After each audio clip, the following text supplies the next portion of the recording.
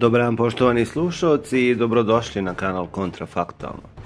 Mi smo već u jednoj od prethodnih epizoda pričali o bitci koja se vodila za Jasenicu 1942. godine, a u ovoj epizodi pričamo o još jednoj poznatoj bici koja je se dogodila krajem juna 1943. godine, takođe na području a, Vlasenice.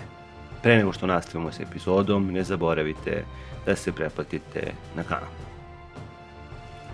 U noći između 25. i 26. juna 1943. godine prva proleterska i prva i druga vojvođanska brigada e, su napale, razbile i većim dijelom uništile posadu Vlačanice koje su sačinjavale dve bojne domobranskog pešadijske pukovnije, to je puka, i dva bataljona Ustaškog prvog zdruga, to je brigade, i zauzile Vlasenicu. U junu 1943. godine u blizini Vlasenice se nalazila prva i druga vojvođanska brigada, a nakon proboja posle bitke na Sutjesci, prema tom delu, dakle, istočne Boste, nastupile su jedinice prve proletarske divizije. Vojvođanske brigade izvršile su pokret radi prihvata i povezivanja sa prvom proletarskom divizijom. Štabovi su doneli samostalnu odluku da napadnu ustaški garnizon u Vlasenici.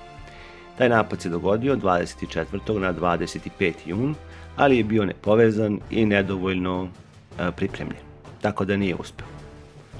Do napada Vojvođanske brigade u Vlasenici se pored 15. domobranskog puka nalazio jedan ustaški bataljon, tačnije treći bataljon prve ustaške brigade. Kada je počeo napad, opkoljenom garnizonu su upućeni u pomoć 21. ustaški bataljon iz sela Drinjače i 29. ustaški bataljon iz Srebrenice.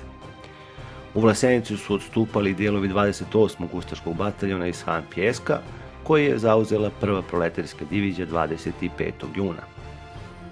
Tako su se u Vlasenici zatekli 15. pešadijski puk, dva ustaška bataljona, jedan domobranski bataljon i oko 40 milicionera.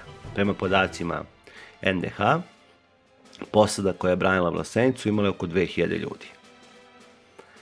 Tokom 21. 25. juna pardon, štabovi prve proletarske divizije i vojvođanskih brigada uspostavili su vezu i sačinjen je zajednički plan napada na Vlasenicu.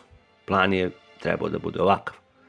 Prva proletarska napadala je na oceku Kik, kota 662 Orlovača, i to prvi treći bataljon na oceku između reke Sušice i druma Vlasenica Ham Pjesak, četvrti i šesti bataljon i jedan vojvođanski bataljon između druma Ham Pjesak Vlasenica i druma Milić i Vlasenica, prvi i drugi vojvođanska brigada napadale su sa severa sa težištem na pravcu selo Nezirovići, selo Drum, crkva u Vlasenici.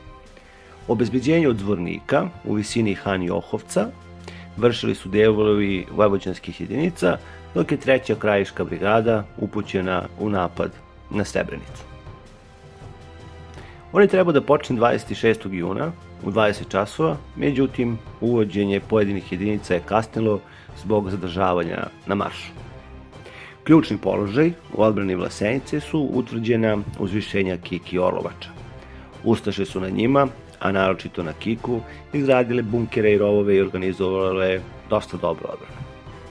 Upad u Varoš bez prehodnog osvajanja pomenutih položava bio je neizvodljiv, jer Vlasenica leži u neposrednom podnožju Orlovače i Kika.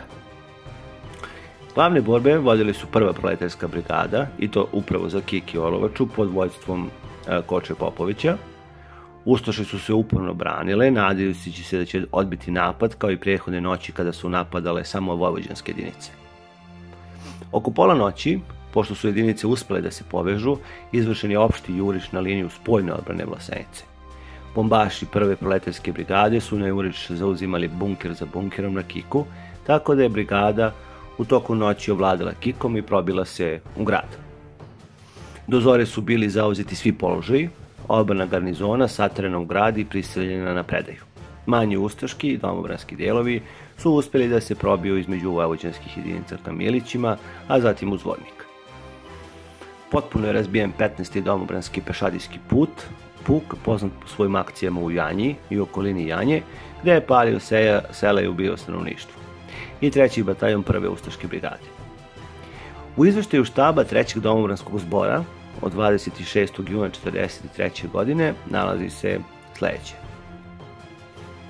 Do sada su preduzete, poduzete sve mjere da se spasi istočna Bosna, kako od zapovjednika Njemačke divizije Sarajevo, tako i kod zapovjednika Njemačkih četa u Hrvatskoj. Upreko svega toga, istočna Bosna sa neznatnim našim snagama prepuštena je samo i sebi i jedino uporište za drugim savladano je. Te gubimo sve ono što je uz velike žrtve u proljeći 42. godine bilo oslobođeno. Nadam se da vam se epizoda dopala. Ne zaboravite da se preplatite na kanal i vidimo se uskoro. Prijetno!